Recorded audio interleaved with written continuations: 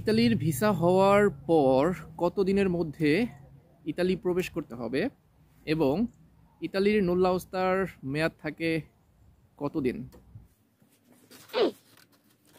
Hi everyone, আসসালামু আলাইকুম। It's me Shafiqul Khan from Italy welcome to my YouTube channel and Facebook page Shafiqul the Best. আশা করছি যে যেখান থেকে দেখছেন সবাই ভালো আছেন। সো দুটি প্রশ্ন নিয়েছি আজকে আপনাদের কাছ থেকে আপনাদের কমেন্ট থেকে আপনাদের মেসেজ থেকে। তার মধ্যে প্রথমটি যেটা বললাম আর কি অনেকে জিজ্ঞেস করেছেন এই প্রশ্নটি ইতালি ভিসা হয়ে যাওয়ার পর কত দিনের মধ্যে ইতালি প্রবেশ করতে হবে? এবং আরেকটি যে প্রশ্নটি ছিল নুল্লাস্তার মেয়াদ কত দিন থাকে? নুল্লাস্তার মেয়াদ শেষ হয়ে গেলে আসলে করণীয় কি? বা আমরা ভিসা পাবো কি না আচ্ছা প্রথম যে প্রশ্ন, আগে সেটার উত্তর দিই। দেখেন, আপনার ভিএফএস থেকে যখন আপনারা ভিসা পাবেন ইতালির, আপনার ভিসার কিন্তু একটা মেয়াদ থাকে। সেই মেয়াদটা আপনার সিজনাল বা কৃষি ভিসার ক্ষেত্রে থাকে তিন মাস, ছয় মাস এবং নয় মাস। নন সিজনাল ভিসা বা স্পন্সর ভিসার ক্ষেত্রে থাকে এক বছর, সর্বোচ্চ দুই বছর পর্যন্ত থাকতে পারে। এখন এই যে ভিসার মেয়াদ, আপনাকে ইতালিতে এই ভিসার মেয়াদের মধ্যেই ঢুকতে হবে। মানে ভিসার মেয়াদ শেষ হয়ে গেলে আপনি কিন্তু আর ইতালি প্রবেশ করতে পারবেন না। এটা হচ্ছে নিয়ম।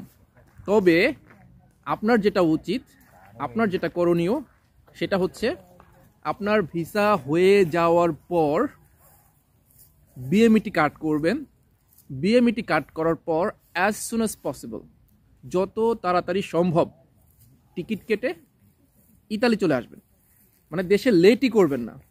কারণ এখানে এসে আপনার একটা প্রসিজিওর আছে, আপনার ডকুমেন্টস পাওয়ার জন্য একটা প্রসিজিওরের মধ্য দিয়ে যেতে হবে।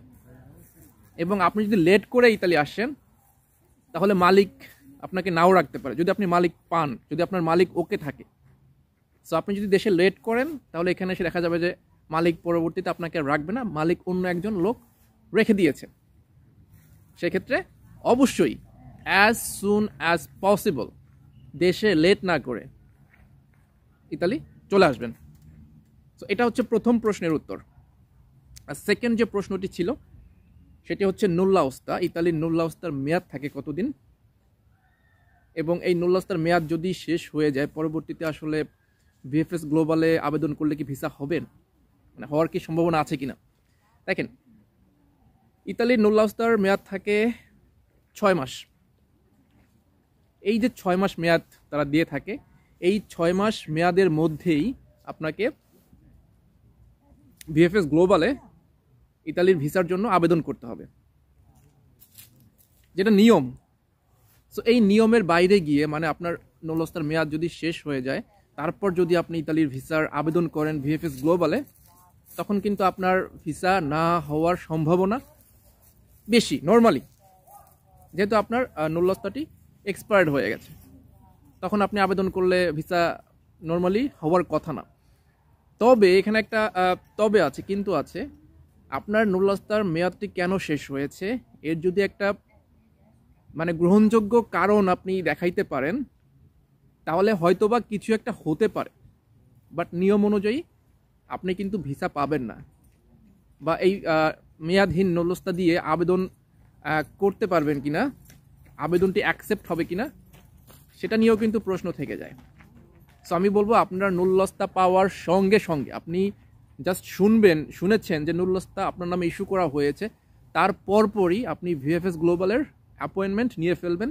তারপর অ্যাপয়েন্টমেন্টের ডেটে আপনারা নুল্লস্তা দিয়ে ইতালির ভিসার জন্য আবেদন করবেন। যত তাড়াতাড়ি সম্ভব। এখন যেহেতু বর্তমান আমাদের বাংলাদেশের সার্বিক অবস্থা, সার্বিক প্রেক্ষাপট অনেক বেশি খারাপ। সেজন্য ভিএফএস গ্লোবাল বারবার অ্যাপয়েন্টমেন্টের ডেট পরিবর্তন করতেছে। এই জন্য অনেকেই সমস্যায় পড়তেছে। আবার অনেকেই ইচ্ছে করে গাফিলতি করছে। আমি এরকম কয়েকজনকে পেয়েছি যারা ইচ্ছে করেই উইদাউট অ্যানি রিজন তাদের নৌলস্তার মেয়াদ শেষ করে ফেলেছে। এখন আমাকে অনেকে বলতেছে, ভাই, আমার নৌলস্তার মেয়াদ তো শেষ হয়ে গেছে। এখন আমি কি করব? আমার কি ভিসা হবে কি না জিজ্ঞেস করলাম, কেন শেষ হয়েছে? কি কারণে? কোনো গ্রহণযোগ্য কোনো কারণ আছে? তখন আর কিছু বলতে পারে না। এই কাজগুলো করা যাবে না। যদি করেন, তাহলে কিন্তু আপনারা ভিসা না পাওয়ার সম্ভাবনা অনেক বেশি। আর বর্তমান প্রেক্ষাপটে ভিএফএস এর সমস্যার কারণে, ভিএফএস এর সমস্যা না, ঠিক? দেশের সমস্যার কারণে ভিএফএস টাইম চেঞ্জ করতেছে। এটা হয়তো বা ভিএফএস কর্তৃপক্ষ আমলে নিবে। তারপর হয়তো বা আপনার নলস্তার মেয়াদ শেষ হয়ে গেলেও ভিসা পেলে পেতেও পারেন। বাট এখানে আরেকটা কিন্তু থেকে যায়, যেহেতু বর্তমান ভিসা প্রসেসিং অনেক হার্ড হয়ে গিয়েছে। এখন আবার মেয়াদহীন নুলস্তা দিয়ে আবেদন করলে ভিসা হবে কি হবে না সেটা নিয়েও সন্দেহ থেকে যায়। সো এই আজকের ভিডিও এতটুকুই। যদি ভিডিওটি ভালো লাগে, অবশ্যই লাইক দিবেন এবং কমেন্ট করে আপনার মহামূল্যবান মতামত জানাতে পারেন। আর অবশ্যই ভিডিওটি বেশি বেশি শেয়ার করবেন। সো সবাই ভালো থাকুন, সুস্থ থাকুন।